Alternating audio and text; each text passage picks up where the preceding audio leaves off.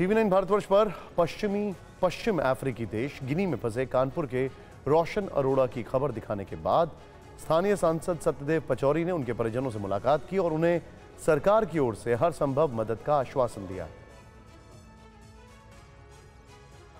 TV nine Bharatvarsh पर पश्चिम अफ्रीकी देश गिनी में फंसे 16 भारतीय परिवारों में कानपुर के रोशन अरोड़ा के घर, कानपुर के गोविंद नगर में सांसद सत्यदेव पचौरी पहुँचे और पीड़ित परिजनों को हर संभव मदद का आश्वासन दिया। उन्होंने कहा कि जल्द ही विदेश मंत्रालय से इस मामले में बात करेंगे।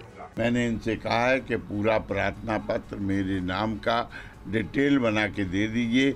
मैं विदेश मंत्रालय से बात करूँगा। और इनका लड़का सकुशल कानपुर आएगा, ये इसका मैं इनको आश्वस्त करता हूँ।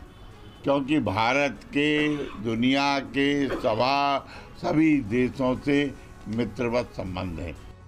रोशन अरोड़ा, मर्चेंट नेवी में असिस्टेंट ऑफिसर पद पर तैनात हैं। परिजनों के मुताबिक उनके पास बेटे रोशन ने शनिवार को फ़ोन करके इस बात की जानकारी दी है कि पश्चिमी अफ्रीकी देश गिनी में भारतीय मर्चेंट नेवी के एक शिप के क्रू मेंबर की टीम को पिछले तीन महीने से बंधक बनाकर रखा गया है।